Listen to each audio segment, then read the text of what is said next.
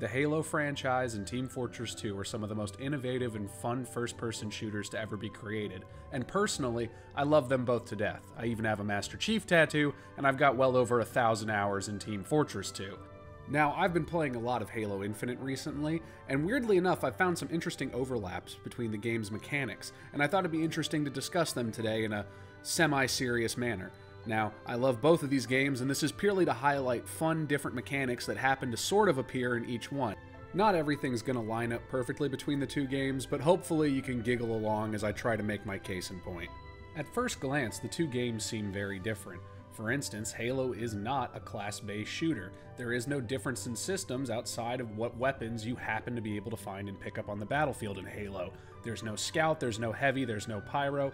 Different classes don't intrinsically have very different gameplay aspects. However, it's surprising how much one Spartan can mimic, and how much of TF2 you can sort of emulate in Halo Infinite, except for Medic.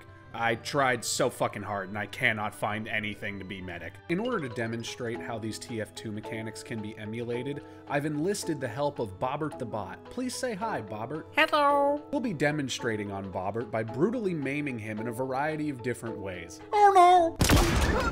Now, the obvious answer for the soldier class is just simply to use the rocket launcher that exists in Halo Infinite. Uh, there is no rocket jumping, sadly, although there is something sort of similar that we'll go over later, but there isn't rocket jumping. However, not only can you mimic the soldier's rocket launcher, you can also mimic some of his side grades.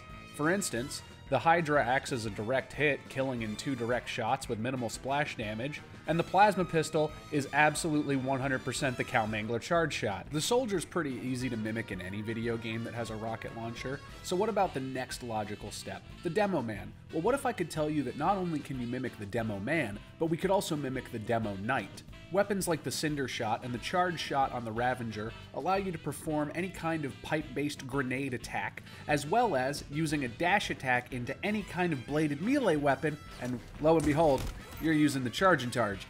Also, uh, side note, if you use the gravity hammer and the grappling hook, and I fucking love the grappling hook, you can jump on people from above and kill them instantly, and fuck it, you're a trolldier. I feel like I shouldn't have to try too hard to convince you of Sniper, Scout moves fast with a shotgun. We move fast with a shotgun. Nice hustle, tons of fun. Hard to stab a guy in the back when he's beating your freaking head in, huh? Hey, look, you shapeshifted into a dead guy. The spy is also a pretty easy explanation because you have cloak, bladed weapons, and revolvers. So, I mean, that all pretty much lines up.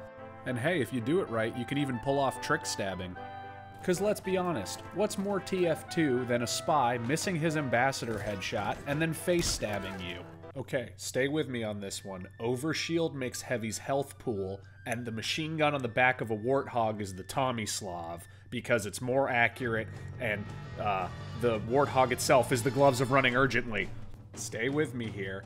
This is the Pyro with the jetpack, so you're a flyro, and then you, it kills quick, and people don't usually see you coming. So what are you using? That's right, the back burner. All jokes aside, Pyro actually does have some of the best representation in Halo Infinite because fucking Air Blast is just in it. Not only can it displace enemies, but it can also reflect projectiles, and you can actually use it as like a detonator type hop to get a little bit extra jump height that you can cross ravines you weren't able to before. And that's also kind of the closest that you can get uh, to a rocket jump as well. So the little reflector, uh, it actually mimics some movement mechanics fairly well.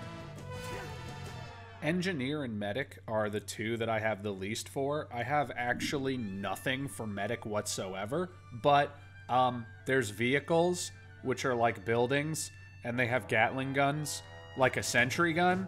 So, you know, any vehicle in Halo we can apply to the engineer. That one's really that's a tough sell, even for me saying it. That's that's tenuous at best. And there's literally nothing for medic. You you could argue that in earlier Halos with like health packs, you could argue that the health pack is a medic, but you still can't give that to your team. Um, and I guess in attrition, the revive mechanic is similar to medics. Um, the revive mechanic is similar to, to medics revive and MVM, and that firefight is also similar to MVM, but that that's it for that, that's it for the classes. But game mechanics aren't the only thing that Halo Infinite shares with TF2. No, no, in fact, one of the most beautiful aspects of TF2, the Hat Simulator, has crossed over into Halo's cosmetics. Not only are there several pieces on every armor set that can be customized, a la TF2's different cosmetic slots for different parts of the body, but we even have unusual effects. You're telling me right now this isn't a Burning Flames team captain just in Halo?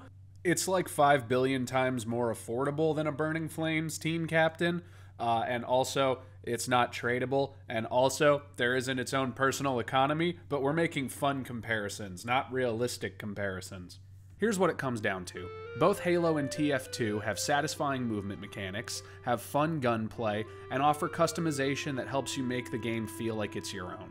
Unsurprisingly, those things come together to make a fantastic game, and I just wanted to make a video highlighting all of the wonderful crossover that exists between these two games. And I hope you have fun playing whichever one you want.